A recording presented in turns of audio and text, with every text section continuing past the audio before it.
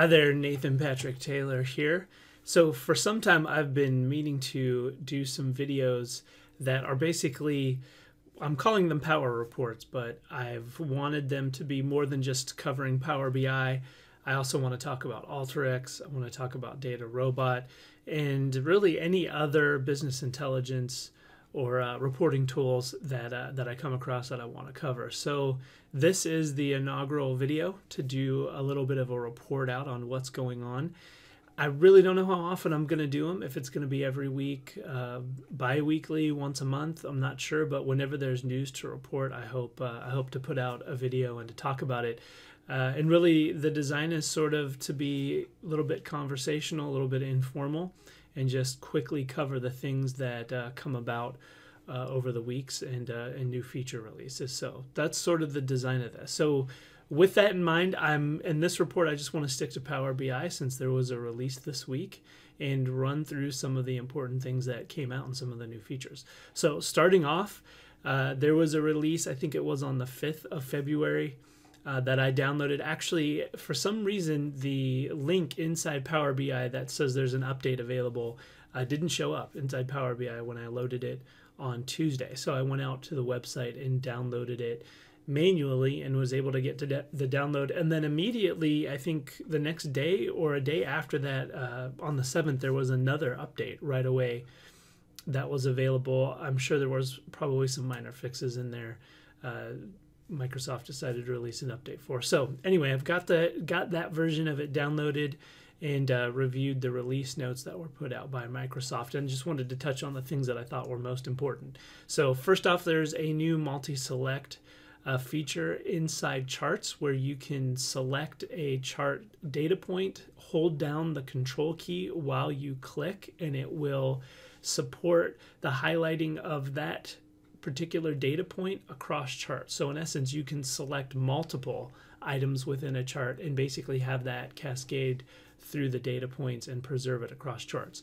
Prior to this feature being released, if you clicked on more than one data point across charts, it would only select the most recent item that you clicked on. So that's kind of a new feature. I thought it was interesting. I have a video out on that uh, you can review as well. The second item that's really interesting is the uh, synchronization of slicers, just called sync slicers for short, across multiple pages inside your Power BI report. So I, in my example, I've got a video up on this as well, where you can select uh, an item uh, in a slicer and have it apply to another page in your report, and then those two slicers stay synchronized, with the option to be able to have that slicer be visible or have it not be visible. So, a really cool feature. And then another thing that the community has been asking for, I personally haven't used it that much, but uh, the ability to put a numeric range slicer on the report and have it snap to whole numbers. This feature is in preview, so you have to go into the file menu, into options, the preview features category, and click the checkbox for it to turn it on, and then it will show up for you. All right, there's a number of other reporting features in there. Uh, there's some faster geocoding for Bing Maps and some other items uh, that uh, that I'm not going to cover here, but you can check out as well.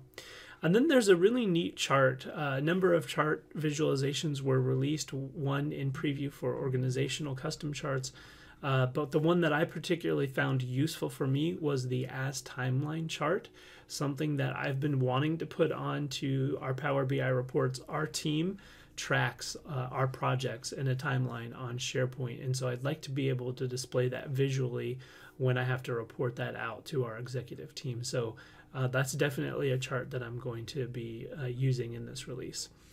There is improvements for SAP HANA. I'm a huge fan of SAP HANA. We don't use it where I work, but I think the technology is brilliant. It's also a preview feature that you have to check inside the option settings to get it to work. Uh, a couple other things I wanted to cover. Uh, open and save performance has been improved. I've noticed that significantly. One of the things about Power BI, when you open it, it opens a new instance of Power BI. Uh, rather than having it, if you open two or three reports, having it be tabbed reports, it's opening multiple versions of, of or instances of Power BI. So these open and save much faster than they did before. The also uh, the show items feature has been improved quite a bit uh, or show no items, I should say, if you're using that particular feature. And then the last one of interest to me is uh, being able to persist filters that users select inside the Power BI service. So if they go into one of your dashboards or reports, probably report specifically, and they filter out uh, an item inside a chart, close down the web browser and then open it back up again, it didn't preserve or persist the filters for that user in, in that particular report.